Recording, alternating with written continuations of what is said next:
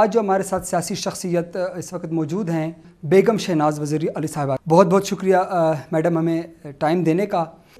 آپ جب چھوٹی ہوتی تھیں تو عید کس طرح منایا کرتی تھیں آپ؟ بسم اللہ الرحمن الرحیم۔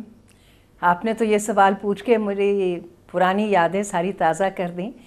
جب میں بالکل ہی چھوٹی ہوتی تھی تو ہماری رہائش کراچی میں تھی، کیونکہ میرے والد صاحب جو تھے، اللہ ان کو جنت نصیب کرے۔ اب وہ ہمارے ساتھ نہیں ہیں لیکن وہ گورنمنٹ کے ملازم تھے گورنمنٹ سرونٹ تھے، بڑے سینئر گورنمنٹ سرونٹ تھے۔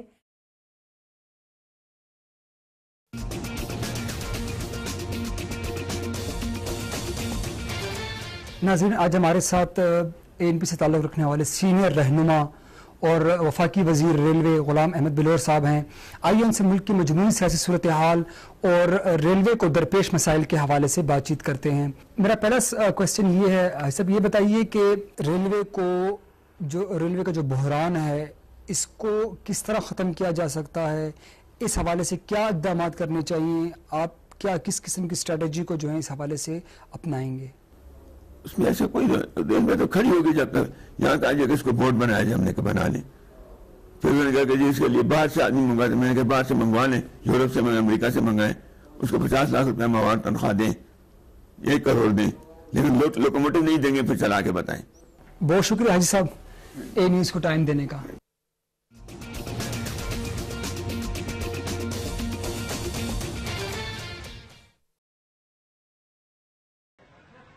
در حمله هفته پیش کراچی نه نفر کشته شدند و دو هواپیمای گرانبهای پاکستانی از بین رفتند.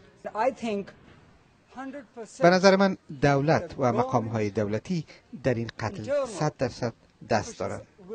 شاید به طور غیر مستقیم احتمالا از سوی کسی دستور یافته که او را بکشند. Harun Najafizadeh B B C Islamabad بتائیے کہ جو آپ کے افراد جو زخمی ہوئے ہیں یا آپ کے جو افراد گرفتار ہوئے ہیں ان کے حوالے سے آپ کیا کہیں گے؟ ان کے حوالے سے ہم حکومت سے یہ کہتے ہیں کہ دیکھو آپ ہمارا ہماری ٹکر آپ سے نہیں ہے۔ پولیس والوں سے کہتے ہیں کہ ہماری ٹکر آپ سے نہیں ہے۔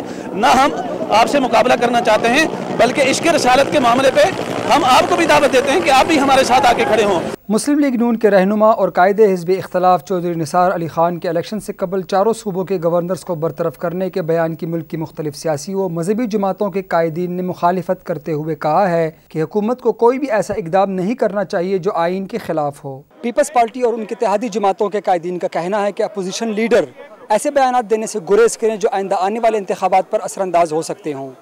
کیمرمین صابر علی کے ساتھ Tahir Dar, A news, parliament house, Islamabad. اسلام نے عورتوں کو ماں، بہن، بیٹی ہر روپ میں عزت کا مقام دیا۔ مگر آج بھی اسلامی معاشرے میں کہیں تو عورت وراثت سے محروم اور کہیں تو انصاف کے حصول کے لیے در بدر کی ٹھوکریں کھا رہی ہے۔ کیمرمین عبد الرشید کے ساتھ Tahir Dar A T V news Islamabad. مقررین کے مطابق حضرت امام حسین علیہ السلام کی شہادت، حضرت اسماعیل علیہ السلام کی قربانی دائی تسلسلے کیمرمین تنویر اسلم دنال طاہر ڈار، اپنا نیوز، اسلام آباد۔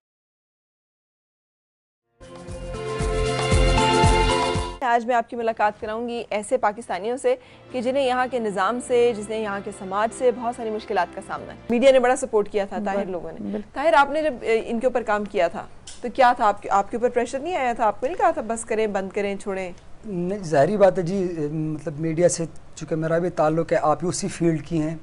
ہم نے جب سٹارٹ میں یہ انیشیٹو لیا تھا ہم دوست بیٹھے بات کی کہ بھئی یہ ایک سوشل چونکہ جس علاقے سے میرا تعلق ہے وہاں پہ آنر کلنگ کا بہت چرچا کیا جاتا ہے کہ جس سرحد میں فاٹا میں بہت چیز ہوتا ہے۔ ہم اکثر جو ایڈمیشنز کے لیے آتے ہیں تو ان کے والدین اکثر یہ کہتے ہیں کہ جی بچ بچا کے اور زیادہ۔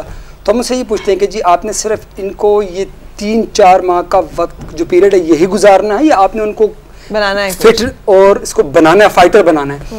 تو نائنٹی ایٹ پرسینٹ کہتے ہیں کہ نہیں جی بس ٹھیک ہے صرف ٹائم میں گزارنا ہے۔ ماریے گا نا ایک دوسرے کو ہمارے پاس کوئی ایمرجنسی میئر موجود نہیں ہے۔